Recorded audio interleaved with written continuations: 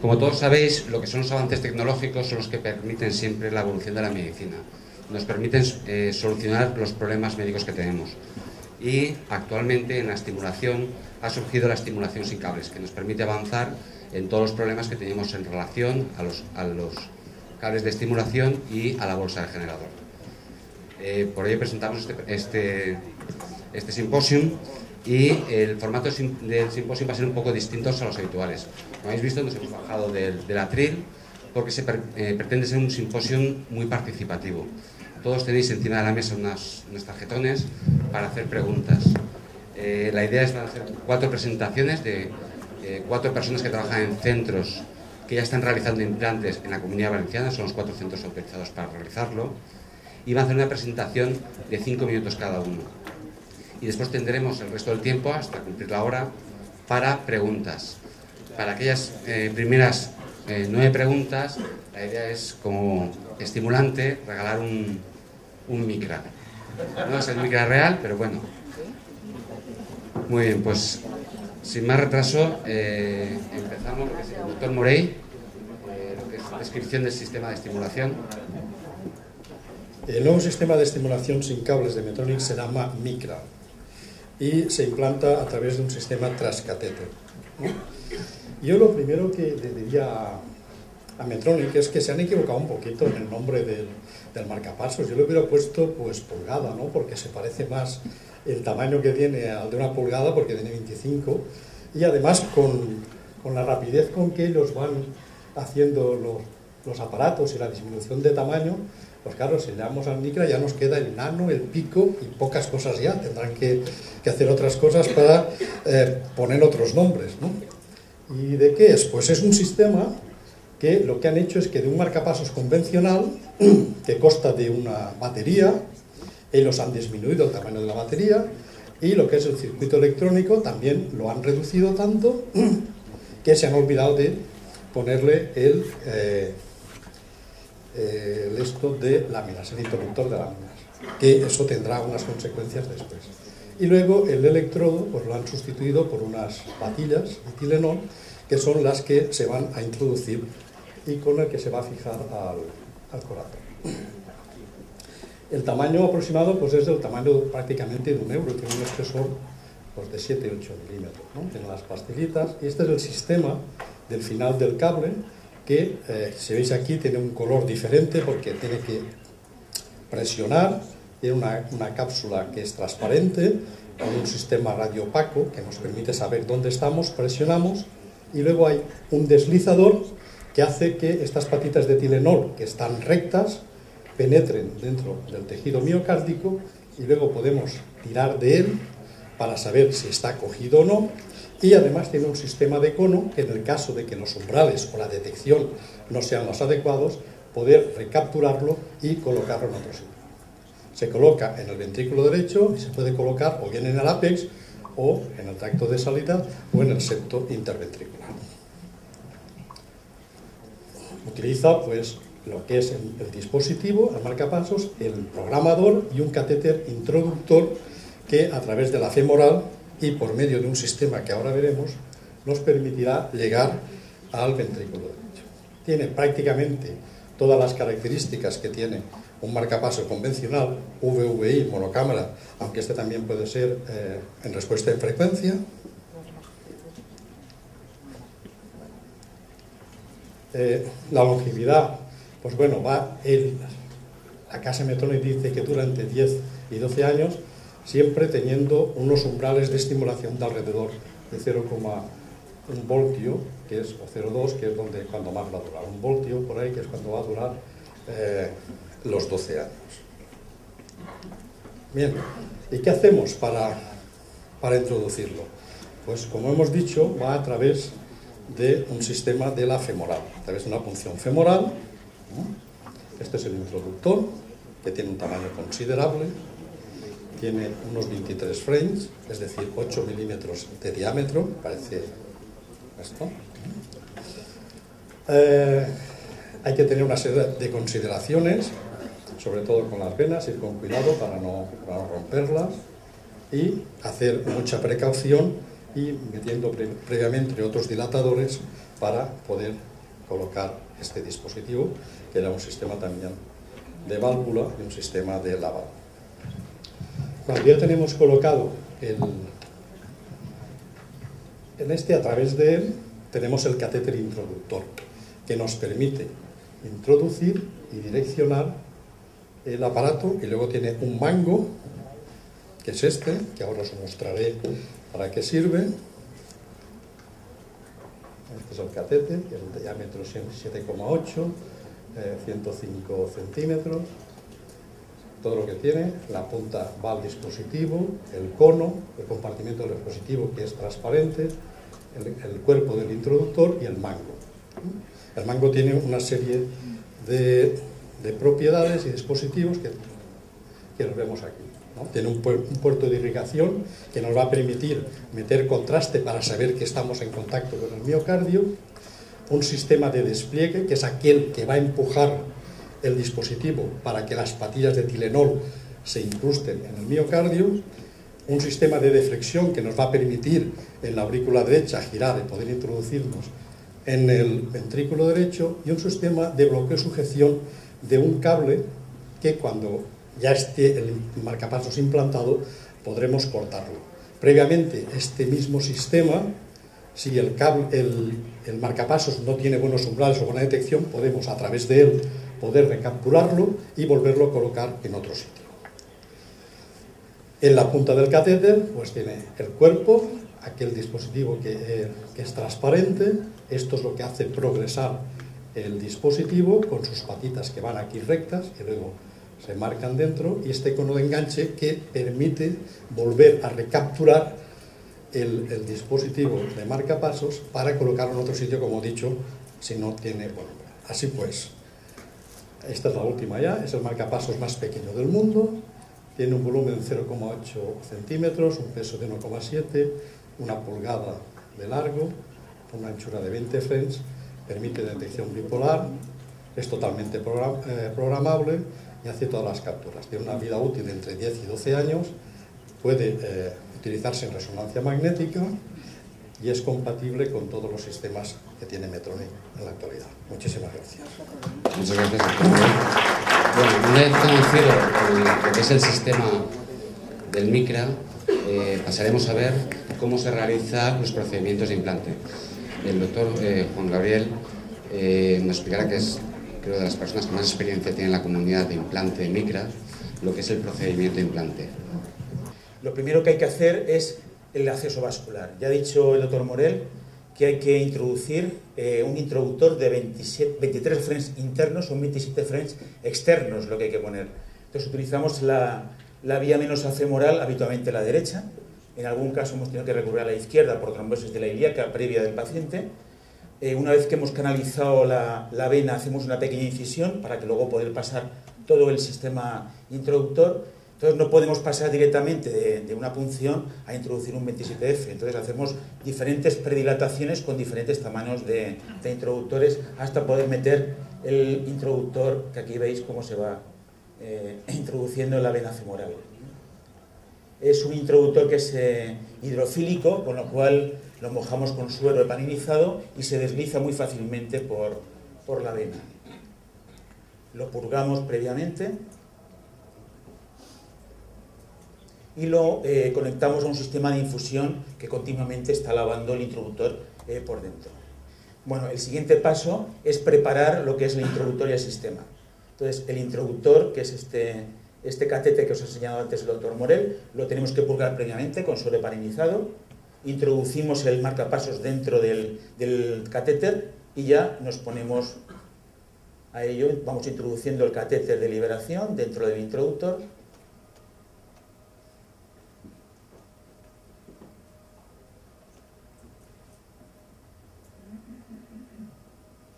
Ahí ves lo que es el introductor, el catéter que ya asoma por la punta del, introductor. Y bueno, el siguiente paso ya es la ubicación y fijación del sistema micra. Como os ha explicado antes el doctor Morel, el catéter es deflectable, lleva un pistón para poder deflectar el catéter, coger la curva adecuada para poder pasar desde la aurícula derecha hasta el ventrículo derecho, habitualmente con un poquito de giro para ir a la porción más septal de, del ventrículo y evitar lo que es el apex libre. Ves que se está girando un poquito para ir eh, hasta que nos introduciremos dentro del ventrículo derecho. Ahí ha pasado al ventrículo derecho. Vamos ubicándolo en el sitio que consideramos oportuno. Apretamos un poquito el catéter para ver que estamos realmente haciendo buen contacto con la pared. Ahí tenéis una posición en OAI, oblicuo anterior izquierda, para ver que estamos en una posición septal de, de ventrículo derecho. Bien, y lo siguiente ya es liberar el catéter. ¿Veis? Ahí apretamos un poquito, estamos bien fijados, estamos bien apoyados, perdón, en, la, en, el, ventrículo derecho. Y bueno, pues con el sistema de liberación que ha explicado antes el doctor Morel, vamos poco a poco sacando, como veis allí, el dispositivo. Entonces, las patitas que tiene se van introduciendo dentro de la musculatura del ventrículo derecho y el sistema queda fijado en el ventrículo derecho. Bien, un paso muy importante es ver que realmente hemos fijado el dispositivo y que no lo liberemos y tengamos riesgo de que se suelte. Entonces hay que realizar una maniobra, habitualmente utilizamos la lupa en el, sistema de radiología y lo que hacemos es, el sistema lleva cuatro patitas, tiramos fuerte, realmente notas como la, notas el latido del corazón, tiras fuerte y si al menos dos de las cuatro patitas notas que están insertadas dentro de la musculatura, que lo ves claramente porque al tirar de ellas, en vez de la, posición que tienen, se vuelven horizontal, entonces está el, dispositivo perfectamente fijado. Al menos exigen que dos de las cuatro patitas estén fijadas para poder hacer la liberación definitiva del sistema. Entonces, para eso utilizamos eh, la lupa y, vamos revisando paso a paso realmente que estén las patitas fijadas. Para liberarlo cortamos el sistema de el hilo ese que habéis visto, una vez tirado de él, y ya sacamos el introductor, el catéter de liberación. Previamente hemos pasado una seda alrededor del catéter introductor, habitualmente utilizamos lo que se llama un punto en 8 para poder luego ligar la zona de punción y evitar pues, los posibles hematomas que ocurran posteriormente. Luego hacemos eh, la programación del dispositivo y sin problemas. Aquí tenéis el dispositivo ya funcionando perfectamente después de, de su implante. Y bueno, pues este es el equipo implantador en nuestro hospital de las primeras dos unidades, hicimos dos en un solo día. Actualmente, que yo sepa, llevamos implantados en toda la comunidad valenciana 13 dispositivos, si no me equivoco, y bueno, pues yo os puedo contestar eh, con, contar que estamos muy satisfechos realmente. Llevamos siete dispositivos implantados y estamos muy contentos con el sistema. ¿eh? Muchas gracias. gracias. hemos visto una nueva tecnología que es, eficaz, que se puede implantar, pero es segura. Eh, hay evidencia que nos dice que es seguridad a corto y por lo menos de momento a medio plazo. Para ello, el doctor Ruiz nos intentará explicar a ver la evidencia existente y esa seguridad si se puede, si se puede garantizar. Me sumo a los agradecimientos y claro, cuando aparecen nuevas tecnologías, uno debe plantearse realmente esto funciona, está probado, tenemos, podemos fiarnos de que esto eh, funciona y, y de hecho, ¿cuál es el motivo que ha llevado a que esto empiece a desarrollarse? Y el motivo es que, a pesar de toda la evolución que llevamos con los sistemas de estimulación, eh, de estimulación cardíaca, todo pendía de un cable, o sea, todo pendía de un hilo. Y no se ha podido mejorar ese hilo, ese cable. Y entonces eh, la solución que uno piensa como más sencilla es quitarlo. Y lo que hemos hecho es, o lo que se ha hecho, es prescindir de ese cable. ¿Por qué? Porque hay algunas limitaciones en los marcapasos que mm, están relacionadas con eh, los problemas del implante por vía, fundamentalmente por vía subclavia, que, pues, con neumotoras, infecciones, perforaciones, y después por los problemas de erosión del generador o, sobre todo, los problemas relacionados con las dislocaciones, las fracturas, los recols, las infecciones del cable y su posible extracción, así como las infecciones que se relacionan con los implantes.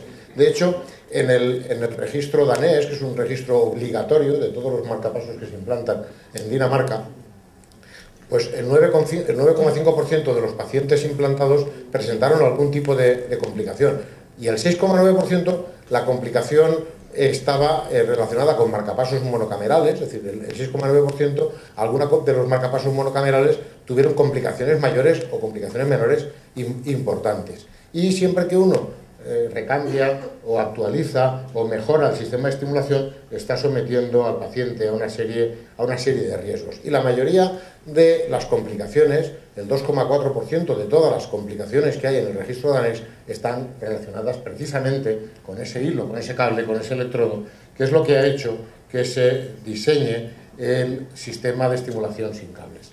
Y tenemos alguna evidencia, fundamentalmente lo que tenemos hasta ahora, no es mucho, pero yo creo que es importante, son eh, dos estudios, dos publicaciones sobre prácticamente el mismo grupo de pacientes, o un grupo muy parecido de pacientes, una publicación hecha en el European Journal y luego la publicación, digamos, seminal de la estimulación sin cables. Hay dos publicaciones, el sistema Micra y el sistema NanoSteam, que son dos eh, industrias distintas, las dos publicadas en el New England, y que recogen la experiencia clínica inicial con un sistema de estimulación sin cables en un número considerable de pacientes, de 744 pacientes, de los cuales se intentó el implante el 725 y que fueron seguidos durante un tiempo razonable para poder al menos sentar las conclusiones iniciales en estos estudios, que son fundamentalmente de seguridad y un poco también de, eficacia. Si nos cogemos, estamos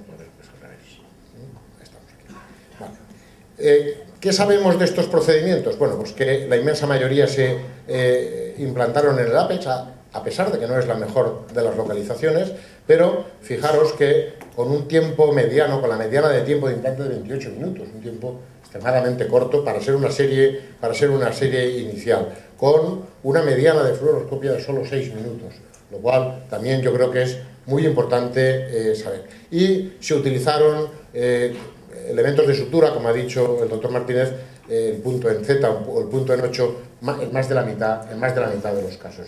pero es un procedimiento que es breve, es un procedimiento relativamente sencillo desde el punto de vista técnico, aunque hay que ser muy, muy cuidadoso. Y esta es la curva de ausencia de complicaciones. Fijaros que las, realmente las complicaciones que hay, el 2% de complicaciones son el día del implante. Son las complicaciones directamente relacionadas con el implante bien la dislocación, bien los problemas, sobre todo los problemas vasculares del acceso, porque ya os han comentado que hay que meter un 27F y eso tiene un riesgo de eh, poder hacer, eh, crear un daño vascular. A partir de ahí, las complicaciones son relativamente infrecuentes y se estabilizan eh, en torno al 4% durante un seguimiento más o menos, más o menos razonable. ¿Cuáles son las complicaciones? Bueno, pues hay pues alguna embolización o embolismo alguna, alguna trombosis, problemas relacionados con las, con las venas, problemas con eh, la punción eh, femoral, hay eh, trauma o injuria, daño cardíaco que puede llevar a la perforación o sobre todo al derrame pericárdico. Hay 11 eventos en 725 casos, es decir, 1,6%. Es decir, las complicaciones, si, si veis, son relativamente relativamente infrecuentes. Y cuando uno compara qué ocurre, por ejemplo, con las complicaciones de este dispositivo, con una cohorte de pacientes históricos sometidos a implantes de dispositivos eh, intracardíacos convencionales, pues vemos que la tendencia a las complicaciones es menor en los pacientes que llevan dispositivos intracardíacos, tanto en cuanto a lo que son problemas del punto de acceso, a pesar de que tenemos los problemas del acceso femoral, pues hay menos problemas de acceso que los problemas relacionados con la vena subclavia o con la vena cefálica. Eh, el trauma eh, pues sí que es un poquito mayor, el trauma cardíaco, pero problemas relacionados con la estimulación hay menos, hay menos problemas con el problema de la fijación, es decir, hay menos dislocaciones que con los sistemas convencionales. Es un procedimiento seguro y con una serie de complicaciones que son poco relativas. Y si nos vamos a lo que creo que importa, que es un poco el resumen de seguridad de este tipo de dispositivos, vemos que complicaciones eh, eh, mayores hay en el, por ejemplo, mortalidad, no hay diferencias con series históricas, hay un 0,1%, es decir, es una mortalidad anecdótica. Hay menos hospitalizaciones en el grupo de, eh, del, marcapasos sin cables, una reducción que es significativa del 54% de las de hospitalizaciones. Hay menos prolongación, pero no hay significación, estadística en cuanto a los ingresos prolongados requieren significativamente menos revisiones del sistema, del sistema cuando se compara a una cohorte histórica y no hay diferencias significativas en cuanto a la pérdida de función en el seguimiento más, eh, más próximo del dispositivo. Es decir que, al menos en cuanto a los parámetros de seguridad, el dispositivo parece un dispositivo seguro. Y que en cuanto a la eficacia, que es el segundo eh, eh, endpoint que se busca en estudios iniciales, en estudios preliminares, pues vemos que los umbrales son excelentes en la cohorte del estudio inicial, en estos 700 y pico pacientes. Fijaros que la media está por debajo de un voltio a largo plazo, al año está en torno a 0,5 voltios de umbral, con una amplitud que se mantiene constante y con una impedancia que también se tiende a estabilizar con el tiempo. Es decir, que los parámetros de eficacia, que son los que permiten la longevidad del dispositivo, también parecen responder a eh, criterios de estabilidad y confirman la seguridad. Y la única conclusión que uno puede extraer de esto es la conclusión que, traen, que extraen los investigadores de este estudio piloto, de este estudio inicial, que eh, si uno compara con series históricas, eh, los marcapasos eh, sin cables al menos cumplen los criterios que uno podría preespecificar de eficacia y de, y de seguridad. la seguridad es similar o incluso en algunos aspectos un poco mejor que la de los sistemas eh, de los sistemas tradicionales y a largo plazo podemos esperar que los umbrales y que la detección sean estables y razonablemente eh, seguros para tener eh, longevidades que no obliguen a recambios demasiados, demasiado frecuentes. Gracias. Muchas gracias. Hemos visto que es, que es seguro, hemos conocido el dispositivo. Ahora, como ya esto es una realidad, es decir, ya se están implantando en nuestra comunidad de pacientes con estos dispositivos, es necesario que el clínico conozca el manejo de estos dispositivos, eh, si es distinto del marcapasos convencional, y para hablarnos de ellos nos hablará el doctor Chimosca, que también tiene experiencia en implante de dispositivo y seguimiento. También sumarme los agradecimientos a la Sociedad Valenciana de Cardiología y a la empresa Mitronic por eh, permitirme colaborar con el Congreso. Yo les voy a hablar de los aspectos relacionados con el seguimiento clínico. De momento son un poco las unidades implantadas en la Comunidad Valenciana, pero esto indudablemente va a ir creciendo poco a poco y con el paso de los años, para realmente lo que pensamos que esto se va a convertir en una realidad en un futuro próximo. Por lo tanto, lo primero que hay que tener en cuenta cuando veamos o estemos valorando un paciente portador de un marcapasos micra es que el paciente hoy por hoy lo que lleva implantado es un marcapasos VUI. Por lo tanto, lo que deberemos esperar del comportamiento de este paciente, del comportamiento de este marcapasos en un paciente portador, será el de un marcapasos VUI. Dicho esto, sí que habrá que hacer algunas salvedades importantes en relación con estos marcapasos. Aspectos diferenciales que podremos encontrar una visita programada o una visita en el ámbito de la urgencia hospitalaria? Pues relacionados con el electrocardiograma, relacionados con la radiografía de tórax y relacionados con la interrogación del dispositivo. En primer lugar, relacionados con el electrocardiograma. Este es el electrocardiograma de 12 derivaciones de un paciente implantado con marcapasos micra en nuestro hospital. El primer punto que debemos considerar es que la estimulación siempre va a ser una estimulación en bipolar, por lo tanto, o bien no veremos la espícula de estimulación o la espícula de estimulación será de muy pequeño voltaje. Aquí podemos ver, ampliando mucho el electrocardiograma, como en la derivación V4 podemos ver una espícula de estimulación. El segundo punto, estos marcopasos no responden al imán. Aquí tenemos otro electrocardiograma donde realmente es muy difícil identificar la presencia de espículas de estimulación. Este es un, electrocardiograma de un paciente estimulado por un marcapasos también VV, un marcapasos micra. El segundo aspecto es la radiografía de tórax. Lógicamente no vamos a ver una radiografía de tórax convencional de un paciente portador de un marcapasos convencional, sino que vamos a ver una radiografía de tórax donde tendremos el marcapasos micra situado en el ventrículo derecho. Aquí podemos verlo, si lo ampliamos, veremos eh, mejor la disposición del marcapasos, un poco más grande, ahí vemos cómo está situado en la silueta cardíaca. Esto es una proyección posterior anterior y aquí tendríamos una proyección lateral donde podemos ver el marcapasos micra situado en el ápice del ventrículo derecho. Teóricamente estos marcapasos o la compañía nos dice que podríamos implantar hasta en torno a 2-3 dispositivos por paciente. Aquí podemos ver cómo aparentemente sí que existiría espacio suficiente para implantar al menos más de una unidad de estos marcapasos micra, estos marcapasos VVI. El tercer punto, la interrogación. Lógicamente, no vamos a tener que situar el cabezal de interrogación donde habitualmente situamos el cabezal de interrogación, sino que tendremos que bajar el cabezal de interrogación hacia la zona precordial, que es donde se está situando el marcapasos sin cables. Aquí podemos ver, y ahí logramos identificar dónde está situado el marcapasos sin cable. Aquí lo tenemos en una imagen parado. Es ahí donde deberemos situar nuestro cabezal de interrogación para interrogar un marcapasos de estas características y a partir de ahí todo es como cualquier otro marcapasos. Aquí tenemos la pantalla, nada más eh, situamos el cabezal sobre el paciente, abre la pantalla de interrogación donde podemos ver las principales características de funcionamiento del dispositivo. En esta primera pantalla vamos a ver las tendencias de impedancia, las tendencias de detección de la onda R y las tendencias relacionadas con el umbral de estimulación del tiempo que lleva implantado el dispositivo. Sobre esta pantalla ya navegaremos de forma convencional. Aquí tenemos pulsando el botón de parámetros por los parámetros de funcionamiento del marcapasos. Es idéntico a cualquier otro marcapasos o prácticamente idéntico a cualquier otro marcapasos VVI de la empresa Medtronic.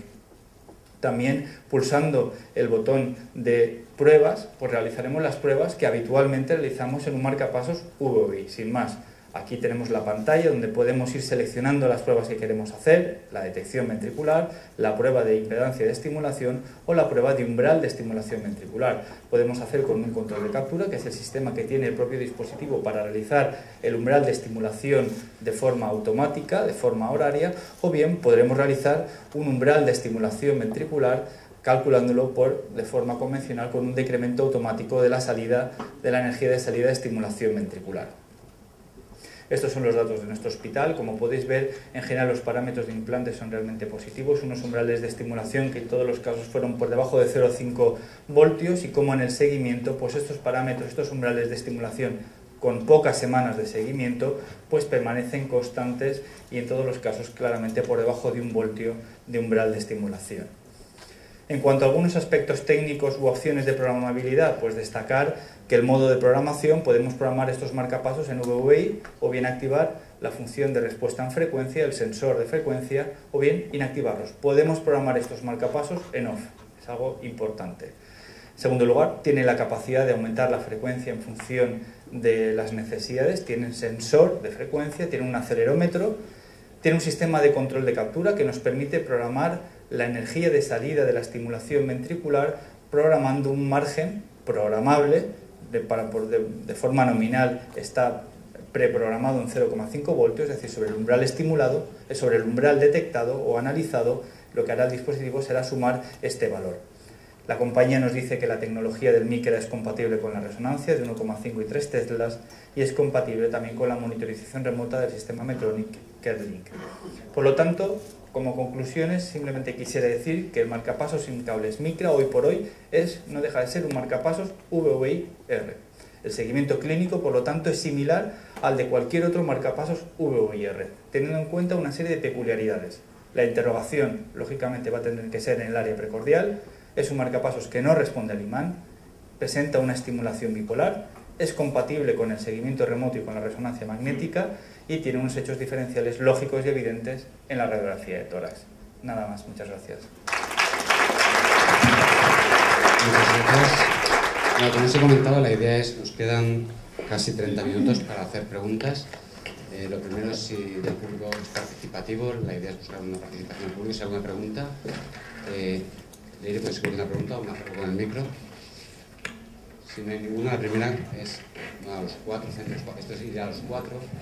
Eh, actualmente, eh, ¿a qué pacientes eh, les indicaríais este sistema de estimulación frente al marcapasos convencional? Yo, vamos, en primer lugar, es un marcapasos VI y, y, creo que lo que habría, o cuando se plantea la indicación de este tipo de marcapasos, es un paciente que necesita una estimulación por un marcapasos VI. Hay que tener en cuenta que es un dispositivo que puede tener una longevidad alrededor de los 10 años, por lo tanto, son dispositivos que hoy por hoy no son extraíbles, si quisiéramos o en el momento en que la batería se agote hay que implantar un nuevo dispositivo.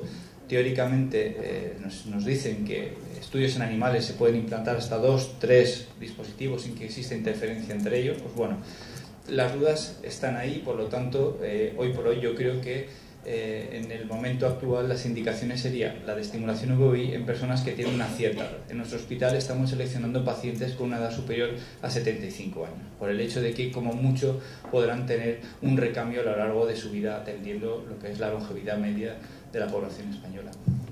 Y para el resto yo, yo, estoy, de acuerdo, básicamente estoy de acuerdo. Eh, no podemos de momento, creo indicarlo en pacientes en cuya expectativa de supervivencia es muy larga porque no sabemos qué va a pasar, con, si vamos a poder ponerles 3, 4 dispositivos, con lo cual la, edad es una limitación.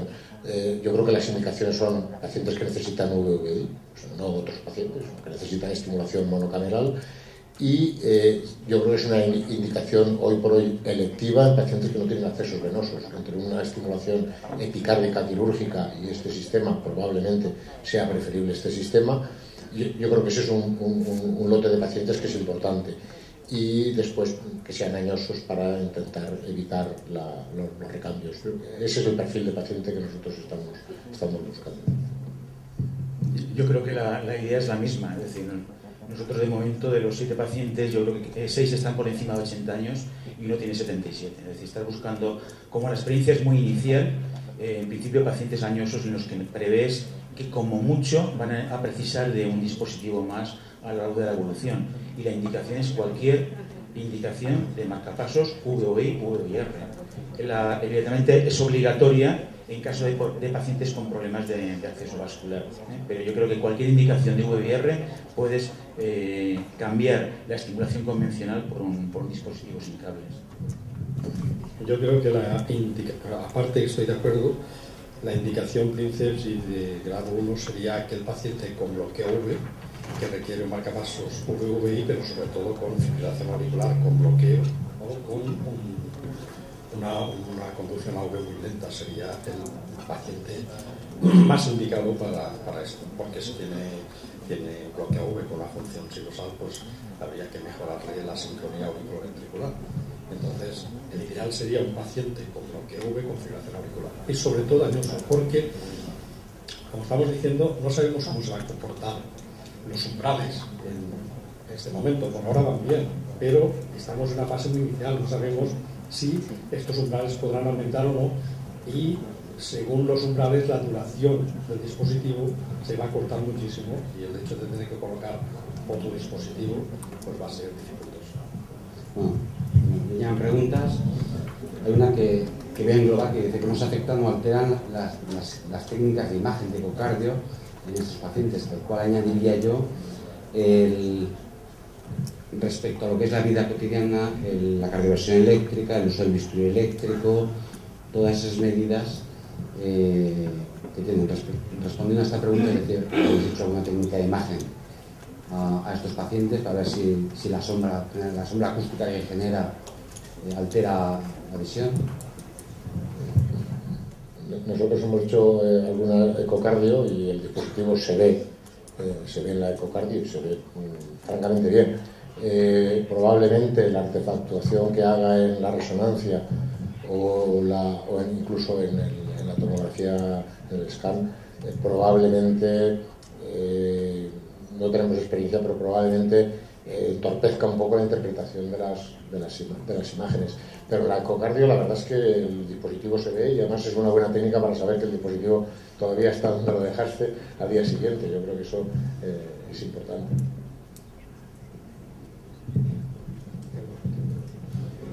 Bueno, en cuanto al eco no debe influir porque es ultrasonido nuestro.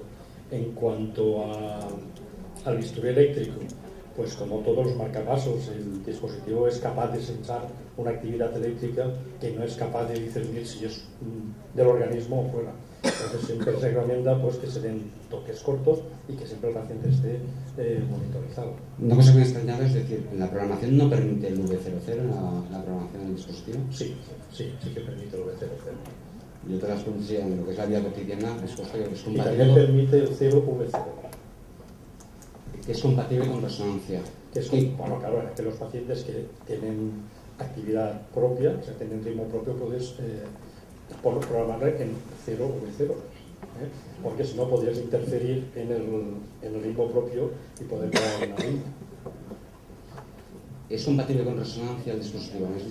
Es, compatible, pero siempre se tiene que colocar en un modo que se llama SURESCAN. ¿eh? Y luego eh, tiene que tener una serie de eh, precauciones, es decir, que el dispositivo esté, la pila esté, no esté en fin de vida, que la estimulación sea inferior a 4,5 voltios y que cuando estimule a, esta, a esta intensidad que no haya estimulación diafragmática.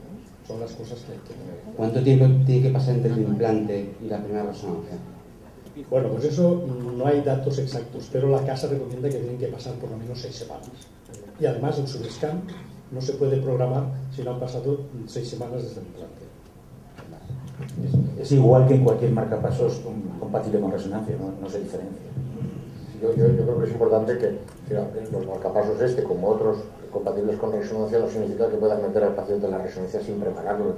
hay que activar los modos de protección del dispositivo de cara a la resonancia. No es que al paciente se le puedan hacer resonancias sin ningún problema, sino que el aparato es capaz de tolerar la tolerancia si prepara todo el aparato para que no eh, tenga interferencia. Una pregunta que me preguntan es cómo se reubican, que lo habéis no... se supongo que se la pregunta en el procedimiento del implante. Sí, se, recaptura. Eh, tú no, llegas a soltar el dispositivo, está con un filamento eh, que, transcurre por dentro de la vaina y puedes recapturar el dispositivo, avanzas la vaina sobre el dispositivo y al avanzar la vaina sobre el dispositivo pliegas otra vez las paquitas, con lo cual desimpactas el dispositivo y puedes volverlo a llevar a otro, a otro sitio. Y otra pregunta en la, que nos hacen de, del implante es ¿qué hacer en el caso de embolización del dispositivo? Eh, lo que puedas, recazarlo. Hay, hay sistemas para cazar el dispositivo. Hay sistemas. Hombre, en principio, hasta que no lo sueltas, no va a embolizar. A ver, porque lo tienes atado. Tienes con, con un hilo que está atado. O sea que si se suelta, lo vuelves a recalcular con, con el cono este que he comentado yo. Yo siempre me gusta hacer el ejemplo que es como, como se adaptan las naves espaciales al dispositivo. Tiene que entrar el cono en, la parte final del, de lo que es el marcapasos y entonces con eso ya se puede meter dentro de la cápsula. Ahora, una vez, bueno, si has probado ya y las, y las patitas aguantan, pues es muy difícil ya que, que Sí, eh, eh, he comentado antes que efectivamente antes de liberarlo tú haces unas pruebas en las que tiras realmente con mucha fuerza del dispositivo, y la tiras con fuerza, realmente es difícil explicar eh, porque la sensación es, muy, es muy difícil de transmitir, pero tiras con mucha fuerza en varias proyecciones y si no se suelta con, el tirón que tú le das, no se va a soltar ya nunca. Y de hecho en la literatura, que yo sepa casos de embolismos, no hay, hay poco. Os voy a hacer dos preguntas más que hay en el implante, que es eh, respecto a los pacientes anticoagulados, aquí incluiría uno que yo también, respecto a pacientes anticoagulados, pacientes con prótesis, contraindicaciones del implante, es decir, como será si hay afectación vascular o filtro acaba no se podrá, en anuloplasta, tricuspidia, si se puede, no se pueden, qué hacer con la anticoagulación en el implante, y eh, también me preguntan eh, que se puede realizar el implante si hay un cable abandonado ahí en el procedimiento, respecto a la anticoagulación, y el cable. Eh, Yo creo que el tema de la anticoagulación es importante. Son pacientes que están en fibrilación auricular, si no todos, pues prácticamente todos los pacientes, y la gran mayoría va a recibir tratamiento anticoagulante. Nosotros en el hospital, la serie que tenemos de, de pacientes implantados, hay eh, tres pacientes que se hicieron bajo anticoagulación activa con Sintron. No lo quitamos, eh, procuramos que el INR estuviera entre 2 y 3 y pues bueno, con un procedimiento cuidadoso de punción y de dilatación con las sucesivas vainas, pues no hemos tenido ningún problema. No hay muchos datos. Hay una serie española publicada por el grupo de Toledo, donde ellos también tienen un grupo de pacientes en los cuales hicieron el implante con anticoagulación activa y donde tampoco han tenido eh, ningún problema en especial. Nosotros el primero que hicimos con anticoagulación activa era un paciente que tiene una prótesis mitral, una anuloplastia tricúspide, fue un paciente en el cual pues eh, decidimos no retirar la anticoagulación por los posibles riesgos que podían tener por el riesgo de, trombosis de la prótesis y no hubo ningún problema. Yo creo que son pacientes que deberíamos hacerlo sin retirar la anticoagulación manteniendo un INR aceptable en el momento del implante. En cuanto a la asistencia de cables previos, nosotros el primer paciente que implantamos era un paciente portador de un marcapasos implantado varios años antes, un paciente que bueno, eh, disfuncionó ese marcapasos, un paciente que no tenía accesos a nivel superior y que donde decidimos implantar un cable, eh, un marcapasos micro era la única opción que tenía ese paciente o bien un implante eh, por cirugía cardíaca. El marcapasos eh, funcionó correctamente y no hubo ninguna interferencia con el resto de cables implantados. La prótesis circunspida es una contraindicación, no se puede poner prótesis con una neuroplastia y el clip de cava, por supuesto, también es una, es una contraindicación bueno tener acceso y que yo sepa no hay descritos accesos superiores. ¿Y la, y la, trombosis venosa profunda? La trombosis venosa profunda debes demostrar que la, que la cava es permeable. Si la cava es, la cava es permeable, eh, puede, ser, puede entrar sin ningún problema. El que haya cables redundantes en el ventrículo derecho es recomendable que no los haya, pero tampoco contraindica de forma absoluta. Nosotros también tenemos experiencia con, con, pacientes con prótesis, no ha habido ningún problema, y con cables abandonados y realmente no hay ninguna, ninguna interferencia. El problema del cable abandonado no es la implante, el problema del cable abandonado es la resonancia. O sea, porque si ese cable no es un cable preparado para resonancia, está contraindicado realizar resonancia con el dispositivo. Eso sí que hay que tenerlo en cuenta, hay que apuntarlo todo. Sobre todo en el implante, saberlo que ese cable porque es una contraindicación para, para la resonancia. No por el dispositivo, sino cable. No, hay una pregunta que es a futuro. Nos dan la enhorabuena a los ponentes. Y nos preguntan, ¿existía alguna investigación eh, sobre marcapasos autorrecargables eh, químicamente? Eh, en mi conocimiento se han colocado en animales marcapasos eficaces autorrecargables. ¿Tiene previsto Medtronic incorporar estos sistemas de autorrecargamiento en el MICRA? Esto es una, y Evidentemente hay muchas líneas de investigación en cuanto a baterías autorrecargables por muchos, eh, por muchos mecanismos, ¿eh? pero de momento todo es, evidentemente es experimental y me imagino que todas las empresas estarán trabajando en algún sistema, pero evidentemente hasta la actualidad eh, no hay ninguno conocido en el que se esté haciendo ningún trabajo in vivo en humanos. Nosotros tuvimos hace dos años en, el Congreso de la sección de arritmias, eh, tuvimos la, yo creo que el, placer de escuchar a uno de los diseñadores de un marcapasos sin pila, que es un marcapasos recargable por el, mismo movimiento de la vibración del corazón, o sea, el movimiento mecánico que recarga el corazón. Es un, eh, yo creo que es un modelo experimental, es un prototipo que se ha probado en algún animal, pero no hay experiencia clínica. Igual que también hay publicado algún modelo de, de biopila, es decir, de pilas eh, que generan el voltaje por actividad eh, microcelular. bueno, eso está ahí, pero... Bueno, María José también nos queda la, la futura, a ver qué. Bueno, estamos hablando de un marcapaso sin cable, VVIR, y se ha hablado de futuro. Entonces sabemos que hay sensores hemodinámicos que pueden detectar contractilidad, tiempos de llenado, y me gustaría saber si con un marcapasos implantado en ventrículos sin cables se está investigando para mantener la sincronía auriculoventricular mediante un sensor hemodinámico. Yo, lo que, hasta donde yo sé, eh, con un solo generador no. Lo que sí sé es que se está generando el bicameral con dos implantes eh, sin cables y conectados entre ellos con sistemas de interconexión. Lo de los intervalos sería muy atractivo, pero no sé si la industria está metida, está metida. Es, muy, la verdad es que es, muy atractivo porque con eso se podría derivar la actividad auricular desde el, desde el ventrículo. Pero lo que sí que sé que hay algún proyecto de investigación es de incluso un tricameral, es decir, tres dispositivos colocados uno en el ventrículo izquierdo, uno en el ventrículo derecho y uno en la aurícula derecha, conectados entre sí eh, sistema, con un sistema inalámbrico que transmite los intervalos. Eso sí que sé que hay un proyecto en marcha. Yo creo que también se está investigando un poco la forma de mejorar el marcapasos para tener la capacidad de detectar la aurícula. Está valorando diversos prototipos, diversos modelos, pero no es por, con sensores hemodinámicos. Al menos los que yo he visto son con sensores propiamente de la actividad eléctrica auricular, algo parecido a lo que podría ser un marcapasos VDD, eh, traducido en el, en el marcapasos micro. Pasando a la realidad actual, nos preguntan en el caso del, del paciente con endocarditis, afecta al dispositivo micra, ¿qué se puede plantear hacer con este paciente? Eh, claro, se adhiere, eso se queda ahí epitelizado, eh, larga duración, ¿qué hacer con eso? Las expectativas de la endocarditis de un dispositivo de estas características eh, son las estimaciones que se, eh, se reducen a, a, los primeros meses, antes de que el dispositivo se epitelice. El dispositivo acaba completamente epitelizado. Una vez el dispositivo está epitelizado, prácticamente no puede infectarse porque está epitelizado. Entonces la, la infección tendría lugar en los primeros meses, antes, antes de, que se, de que se complete la epitelización y en ese supuesto el, el dispositivo todavía sería recapturable, con lo cual podrías entrar con un sistema de lazo, capturar el dispositivo y, y, y extraerlo.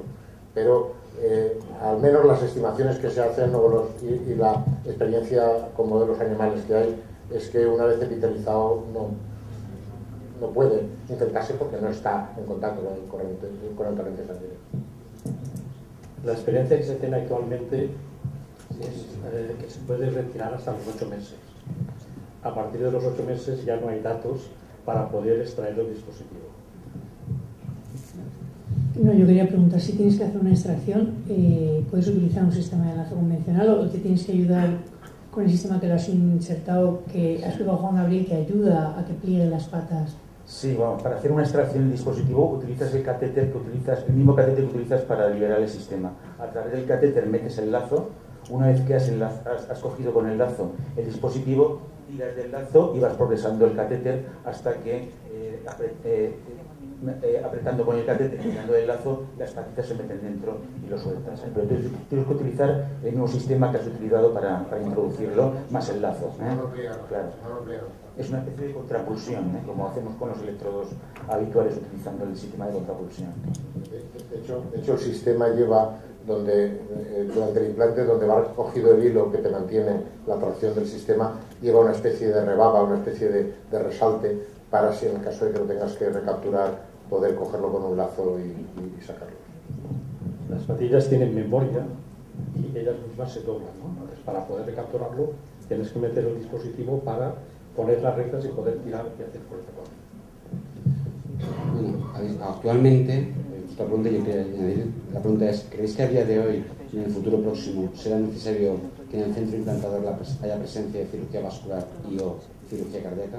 Ya que actualmente eh, la comunidad está autorizado el implante en aquellos centros, en la pregunta difícil, centros únicamente que disponen de cirugía cardíaca. Y un aspecto del estudio es decir, este sistema permite no tener complicaciones con el cable y con la bolsa, pero sí que tiene una tasa de perforaciones que no es desdeñable, es decir, 1,6% de perforaciones. No nos dice el estudio cuántos acabaron en cirugía cardíaca, pero sí perforados. Entonces, claro, eh, ¿creéis actualmente que es estrictamente necesario que haya cirugía cardíaca en el centro donde se implante el? Eh, vamos a ver, estamos en los inicios de una técnica nueva que no hayamos conocido hasta ahora. Es como todo tipo de técnica, igual que cuando empezamos con el tema de la angioplastia y los stents, que hay un equipo de cirugía en stand-by hasta que se comprobó que era, una vez superadas las curvas de aprendizaje, era un método seguro, etcétera, ya sé. Hoy en día, evidentemente, eh, aquí en la Comunidad Valenciana llevamos 13 unidades entre, entre los cuatro, entonces eh, las complicaciones mayores y más graves que puedes tener son la, que se te suelte el dispositivo o que, o que perfores, evidentemente, ya de un taponamiento cardíaco. Con lo cual, y esas dos situaciones, alguna de ellas puede acabar, tener que acabar en cirugía cardíaca. Entonces, hasta que no tengamos mayor experiencia, eh, yo considero de momento prudente, por lo menos, que, el que sea así. Una vez superado, cuando llevemos unos una, serie mucho mayor. Los dispositivos, evidentemente, dentro de unos años no va a ser este, lo van a mejorar, por supuesto. La forma de implantarlo va a ser más sencilla. Entonces, posiblemente se pueda empezar a realizar en centros convencionales. Básicamente el tiempo lo dirá, si hace falta no. Yo creo que el tiempo lo dirá. Pero de, momento, el problema es que una perforación eh, vascular con un 27 o una perforación cardíaca con un, un 23 eh, probablemente es mejor que tengas un cirujano cerca por si acaso. Yo creo, yo creo que sí. A lo mejor hacemos eh, implantes y vemos que eso no ocurre nunca, como pasó con la artroplastia, lo que dice Juan Gabriel. Está claro, pues entonces no hará falta. Pero de entrada yo me sentiría más, más seguro, me siento más seguro si tengo un cirujano al que puedo, al que puedo acceder. En, en, el estudio claramente pone que hay un 0% de implantes en la pared libre ventrículo derecho, que es donde hay mayor probabilidad de perforación. ¿eh? Te va a septalo, Yo creo que una de las cosas que hay que tener más en cuenta en el momento del implante es hacer un buen implante, situar el dispositivo en un buen punto, asegurarse una posición claramente septal. Eso es importante que el equipo radiológico, radiológico te permita hacer eh, proyecciones oblicuas y confirmar que de donde lo estás implantando tiene una orientación del dispositivo hacia el septo. Simplemente añadir que eh, el sistema es versátil, te permite implantarlo en el septo apical, pero también te permite implantarlo en posiciones más altas del septo interventricular. Es decir, lo importante es que haya una buena fijación y yo creo que precisamente para evitar el tema de la perforación, el situar el dispositivo en una posición claramente septal. Y tengo dos preguntas en la misma línea es qué precio tiene y es coste efectivo en comparación a los marcapasos convencionales. Luego, con la situación que tenemos, de las restricciones, ¿qué opináis? ¿Qué medidas tomado? El coste efectividad no se sabe. El coste efectividad hasta que no, se, hasta que no haya un volumen de implantes y un seguimiento adecuado, no se puede hablar todavía de coste eficacia. Eh, el tiempo lo dirá. Yo estoy un poco más con lo que decía ahora mismo con Gabriel. Eh, esto es un cambio de paradigma de la estimulación cardíaca pero este, este, este, es el futuro, pero este, aparato no es el futuro. esto es solo el principio. No acabaremos con este aparato, acabaremos con otro, eh, que será mejor, que será más fácil, que será más pequeño. Que Entonces, mientras eso dura, es, evidente que la, nueva tecnología no puede ser coste eficaz, porque no, es desarrollable. Eso hace que el precio sea caro y ese precio caro limita su uso. Al limitar su uso, limita la evolución tecnológica. Entonces, estamos y ese es el problema en el que nos enfrentamos ahora, al menos en nuestra comunidad. En otras comunidades no han hecho tanta, tanta distinción, pero yo creo que, no es malo tampoco que se haga una monitorización de nuevas tecnologías y hoy por hoy la principal limitación para el uso que tenemos en la comunidad valenciana es la de centros, porque han, eh, seleccionado una serie de centros para poder hacer los implantes y sobre todo el precio, porque el precio va, es bastante más caro que un marcapaso convencional, pero claro, eh, si quieres evaluar nueva tecnología, tienes que pasar por usar nueva tecnología. Y usar nueva tecnología es caro. Eh, estamos siempre en, ese, en ese eh, vértice en el que es difícil salirse. Es un poco una opinión personal. Sí, yo, yo, creo que, vamos, soy de la opinión de Ricardo, evidentemente. Desconozco, sinceramente, el, el precio que tiene, que tiene el micro actualmente y el acuerdo que ha llegado con la Consellería. Pero eh, y el coste eficacia lo veremos a la larga. no sabemos cuántas complicaciones de, la bolsa, cuántas extracciones de cables nos ahorraremos en un futuro eh, con este sistema. Entonces es muy, muy pronto para poder hablar de... Evidentemente saldrán estudios, saldrán estudios y como ha dicho Ricardo y comentaba yo antes, esto es el principio, es el principio pero que cambia totalmente el chip que teníamos de la estimulación cardíaca. Yo creo que por ahí deben de ir las cosas cuando todas las empresas comerciales, además de Metronic, están todas sacando dispositivos de este tipo, es decir, los tiros van por ahí. Hemos empezado con el VIR, sacarán modelos nuevos, más perfeccionados, más fácil de implantar, con menos complicaciones, luego sacarán el bicameral, casi seguro, y luego el tricameral. Es decir, yo creo que el futuro, el futuro va por ahí. Y toda tecnología pues tiene evidentemente su coste. Posiblemente cuando empiecen a salir costes, estudios de coste eficacia, igual que pasan con los, con los anticoagulantes de acción directa, veremos que si nos ahorramos X extracciones del dispositivo por infecciones, etcétera, seguro que al final acabará siendo coste eficaz independientemente del precio. Con respecto a esto, ya que lo ha comentado él, el precio de lista en la comunidad valenciana no lo conocemos porque, eh, de hecho, la, la Consejería lo que ha hecho es autorizar eh, el, que, podamos implantar una serie de dispositivos con un acuerdo comercial que desconocemos, pero el precio de lista, lo que vale ese dispositivo en cualquier sitio fuera de la, comunidad valenciana, es eh, más de tres veces lo que vale un marcapasos convencional. Pero es la misma comparación que haces con los eh, nuevos anticoagulantes, es decir, un mes de tratamiento con un nuevo anticoagulante vale más de tres veces más de lo que vale un mes de tratamiento con acenocumarol. Pero bueno, pero hay que buscar a dónde, a quién, cómo, por qué, cuándo, eh, hay que buscar qué nicho de pacientes es el que se beneficia de eso. Y eso solo puedes hacer utilizando esa tecnología. Yo simplemente añadir una cosa, yo creo que estamos obligados a monitorizar los pacientes a los cuales le estamos haciendo este implante, recoger esa información y pues bueno, yo creo que es algo eh, importante el incluirlos en registros para confirmar y comprobar que eso, ese perfil de seguridad que teóricamente parece que tienen, pues está, se están repitiendo en nuestro medio, que los pacientes a los cuales implantamos un dispositivo de estas características pues mantienen los parámetros eléctricos de funcionamiento, que no hay complicaciones, en fin, confirmar esos datos que puedan asegurar que el dispositivo finalmente sea coste eficaz. Como estáis haciendo ya es una realidad que estáis poniendo, eh, son pacientes añosos, son pacientes que fallecen. Eh, a estos pacientes se les puede incinerar. La casa es muy trista. Y entonces lo que dice es que en algunos países pues recomiendan la, este, que se revise, que se extraiga esto. No dicen que sí o que no. Bueno, yo es una discusión que he tenido siempre con Petrone. Y hay un trabajo de unos chinos que dicen que sí, que bueno, que eso puede explotar, como el otro. Claro, con la cultura católica que tenemos, pues decir que a alguien le tienes que hacer una autopsia para quitarle el aparatito, pues bueno, eso es lo que hay. Dicen que no pasa nada. Bueno, no lo dicen, no dicen que no pasa nada. Dicen que hay, bueno, algunos países eh, solicitan que se extraiga. Y aquí actualmente, y aquí la respuesta aquí. Ahora No, vienen no, no los apuestos, nos- van a un no se nos- laboratorio clínico, llaman y dicen, ¿se puede incinerar? No lo incineres, no lo incinera. O sea, en, en la funeraria, el este te dice que tienes que hacer un certificado de que no llegue ningún dispositivo implantable que puedes explotar. Eso es lo que actualmente tenemos. Eh, hay forenses que van a las estas y pegan un corte ahí y lo sacan. No es tan fácil como el otro, pero extraer se puede extraer. Y la última pregunta que tengo, ya porque estamos en tiempo, en un paciente de 80 años con fibrilación auricular e indicación de marcapasos, ¿qué ventajas le informaríais al paciente para indicarle que se tiene que poner un marcapasos micra en lugar del marcapasos convencional? Bueno, yo, le enseño los dos marcapasos en la consulta. Le enseño, este es el marcapasos convencional, hay que hacerle aquí un tajo, se le pone el marcapasos, lleva un cable que va hasta el corazón y el otro se lo pongo por la pierna, es así de pequeñito, yo se los enseño los dos y el paciente elige. Entonces, hasta ahora, a todos los que se os he explicado han elegido el, el micra. Un paciente lo eligió, aunque luego su cardiólogo le recomendó lo contrario, pero yo lo volví a convencer para ponérselo. Y bueno, simplemente, si tú no sabes nada de lo que es un marcapasos y a ti te enseñan los dos marcapasos, evidentemente vas a elegir el, el pequeñito que se pone por la pierna y no lleva tablet, ni herida, ni lleva nada.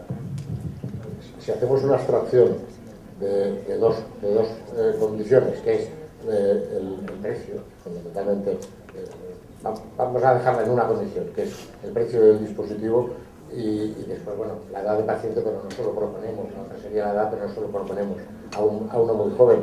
Eh, si tú le explicas al paciente que la mayoría de problemas vienen relacionados con la herida y con la sonda a largo plazo y que esto no tiene ni herida ni sonda, eh, Claro, lógicamente no estás falseando una realidad, porque el 2,4% de, o sea, el 2,4% de los pacientes con, dispositivos tienen un problema relacionado con la sonda, directamente con la sonda. Entonces, es una información que yo creo que se les puede transmitir a los pacientes que cumplen los criterios de implante, VVI, y que no vayas a esperar más, más de un recambio. Solo añadiré una mera anécdota. Un paciente implantado en el hospital, su mujer era un varón, le implantamos un micro, su mujer también llevaba un marcapasos. Ella dijo, dijo, ¿y a mí por qué no me han puesto este marcapasos que no se nota? Y es más fácil. Muy bien, pues muchas gracias a todos, estamos ya en tiempo. Y nada, lo único, lo prometido, que yo soy preguntas, no voy pasar a recogerlos, pasar, sentaré en vuestro micro.